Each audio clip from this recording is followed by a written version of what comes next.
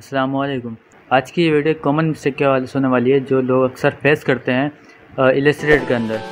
तो वो मिस्टेक क्या है कि जब आप सिलेक्शन टूल लेते हैं तो आपका ऑब्जेक्ट जो है वो रिसाइज नहीं हो रहा होता। उसकी वजह ये होती है कि आपने जो है गलती से आ, आ, जो बाउंड्रीज बॉक्स होता है उसको हाइड कर दिया होता है। तो उसको इनेबल करने के लिए आप क्या करें? सबसे पहले मैं एक आर्टबोर्ड ले लेता हूँ। इस पर एक ऑब्जेक्ट बनाता हूँ ठीक है?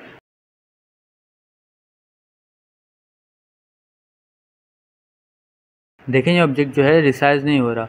उसकी वजह यह है कि इसके साइडों पे जो बाउंड्री बॉक्स होते हैं, वो मौजूद नहीं, वो हाइड हुए हैं तो इसको इनेबल करने के लिए आपने क्या करना पड़ेगा? आपने व्यू टैब में आना पड़ेगा और आपको नीचे आए तो आपको मिलेगा शो बाउंड्री बॉक्स आपने इस पर क्लिक कर देना है। जब आप क्लिक करेंगे तो साइडों पे बाउंड्री बॉक्स शो हो जाएँगे। अब आप इसको रिसाइज करेंगे तो ये आराम से रिसाइज हो जाएगा। उम्मीद करता हूँ आपको ये वीडियो अच्छी लगी होगी। अगर अच्छी लगी है तो लाइक और सब्सक्राइब कर देगा। अगर आप इसे और वीडियोस चाहते हैं तो कमेंट करके हमें बताएँ। इंशाल्लाह मिलते हैं दूसरी वीडियो में। जब तक के लिए अल्लाह हाफिज़।